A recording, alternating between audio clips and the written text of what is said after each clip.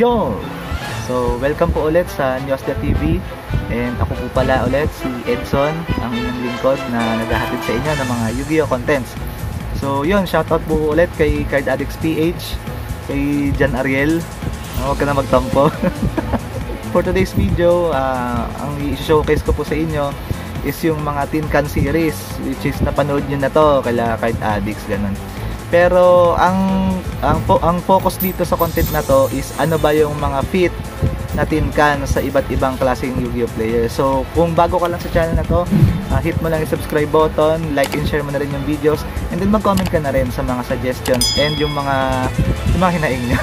uh, shoutout sa mga nagpapa-shoutout, nakalimutan ko kayo. Unahin ko sila Jan Malvin, si Limuel, sila Zane, yan, sila Jasper, yung Del, Del Rosario family, di malilimutan. And syempre, yung mga iba, pa-comment ulit. Uh, pasensya na kasi nagkaroon ako ng mga ano ng mga miss sa mga pa-shoutout. So, please po patawaran niyo na po ako. uh, may recommend ko sa mga Yu-Gi-Oh community lalo na sa mga old school is syempre hindi yung mga competitive na decks. Syempre yung iba medyo magulo na, 'di ba? Parang hindi niyo na naabutan. So, kung bibili kayo ng tin can, eto, nakikita nyo to. So, pag unang tingin nyo pa lang, nakikita nyo kung sino yung nandito sa may tin di ba? Which is si Atem or si Yami Yugi. Ibig sabihin, etong tin na to, nagre-represent sa mga cards na nasa, na nasa ginagamit mismo ni Fero, ni Atem. So, kung ikaw is old school duelist ka na nakagaya ng mga dating play, so, nare-recommend ko sa iyo yung gantong tin yan ayun, uh, i-ano ko na rin pala na may Shopee ano ako, uh, account na may mga tinda rin ako na ganitong tinkan. So, ito na yung sample. May kita nyo yung unboxing nito kay Card Addicts PH na manood kayo. So, ito, uh, may kita nyo yung laman. Ayan, medyo, ano ba, i-post nyo na lang kung medyo malabo. Ayan. Kung Yugi lover ka, yun, ano ko sa ito recommend sa'yo.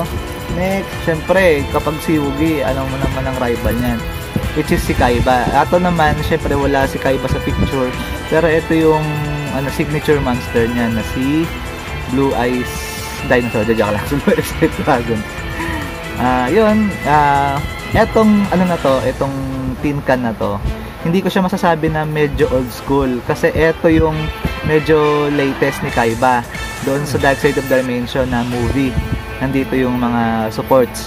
Pero ang kagandahan naman dito, kahit old school player ka, napakadali na intindihan kasi hindi naman siya ganun gumagamit ng mga uh, yung sobrang advanced na combo. Mga basic combo lang. Ngayon, ang aralin mo lang dito, may mga link na card.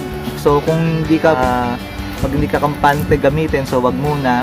Playable siya kahit wala yung mga ganun. Tapos, kung may Yami Yugi, syempre merong Yugi Moto, yung maliit na version ni Yami si Yogi. So alam niyo naman yung mga cards na ginamit niya, 'di ba, yung last duel nila kung napanood niyo yung huling episode ng series.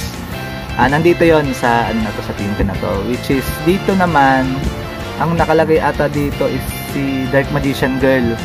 Tapos dito ang nakalagay dito is si Dark Magician. Yan. Si Dark, dito si Dark Magician ang nakalagay dito si Dark Magician Girl.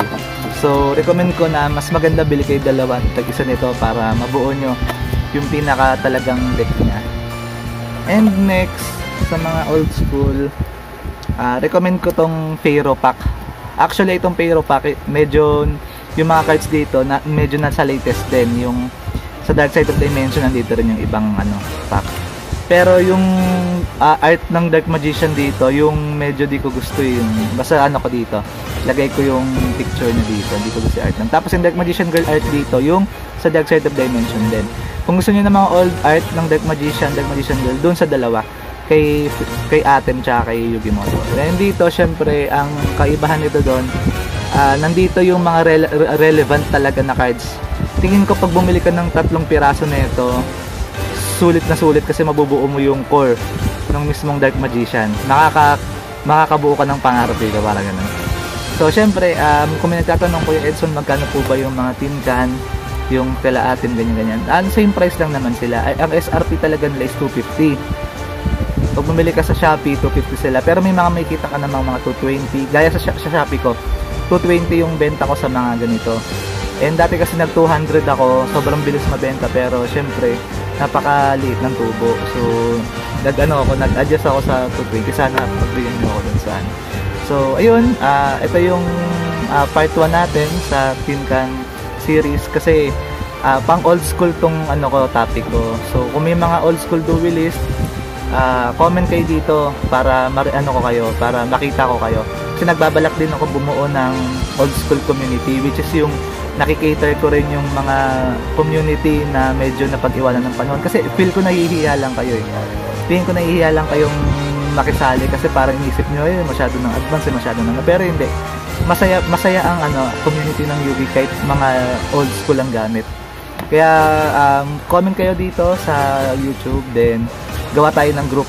So, i-comment nyo, tapos comment nyo yung Facebook nyo, add ko kayo dun sa group. Tapos, dun tayo mag-discuss ng mga event na akin natin. So, yun, tutukan nyo. So, ayun, uh, maraming salamat. Uh, medyo maikli itong video, pero sa part 2 naman is yung mga medyo advanced na, medyo advanced na deck na sa tin can na medyo hindi natin kilala. Kasi yung mga meta players, yung mga masyadong competitive, hindi na bumibili ng mga makaluma. Ang binibili nila yung mga latest, yung parang pangbasagan ba ng ano, ng muka. yung ano. So, yun. Uh, maraming salamat and comment lang kayo and patuloy sana na sumuporta sa YouTube channel ko. So, yun guys. Maraming salamat. God bless.